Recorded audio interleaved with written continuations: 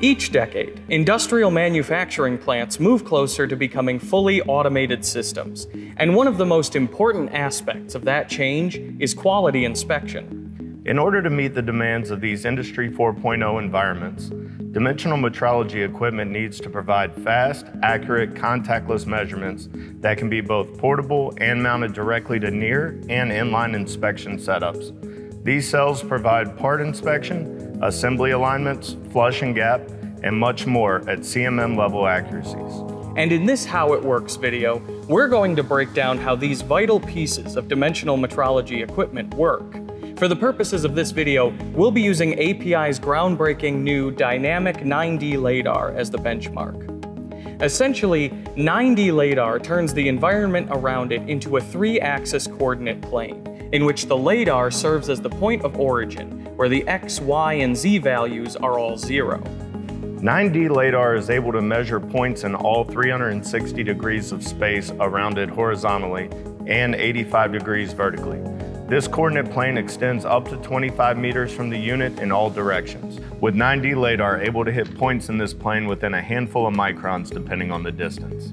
To perform these measurements, Dynamic 9D LADAR relies on four main components, the laser, the vertical and horizontal encoders, the gimbal, and the software and camera combination. The first and most obvious component of 9D LADAR is the laser itself. The laser is sent out of a main port in the unit to a part with the camera system and frequency change being used to tell the exact distance the laser traveled to reach the part.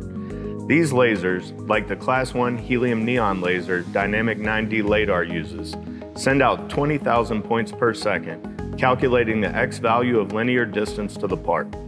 The faster the point reaches the part, the shorter the distance and vice versa. To achieve the accuracies necessary for quality measurements in today's manufacturing plants, the laser must operate at its optimal temperature. We covered the reasons for this in our video discussing warm-up time. In addition to that warm-up time, the 9D LADAR comes equipped with a weather station that keeps track of temperature, humidity, altitude, and other environmental factors that can affect the shape of the laser beam and distort measurement results. In between measurements, the LADAR can reset to its home position, similar to a laser tracker homing at its bird bath. At this station, the LADAR can perform a sanity check to confirm its accuracy and check for thermal drift and other potential sources of error. The second main component of 9D LADAR is the vertical and horizontal encoders.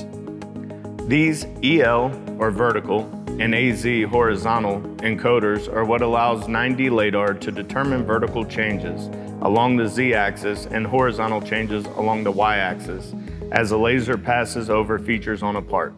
These encoders calculate these differences in Y and Z position and tell the software how far the laser has moved. And because of the number of points the laser is sending out, these positional analyses are taking place every 20,000th of a second. Now that 9D LADAR can accurately find the X, Y, and Z values of any point within its measuring range, the third main component, the high-speed gimbal, is what gives 9D LADAR the speed it needs to take automated, inline, non-contact measurements. The gimbal rapidly pitches the laser shaft housing along the x-axis, which combines with the speed of the laser points and the camera definition to provide complete part coverage in seconds.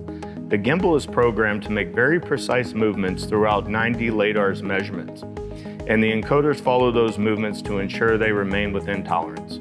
Lastly, the metrology software and high-definition camera system work together to provide remote control of the unit and refine the measurement parameters.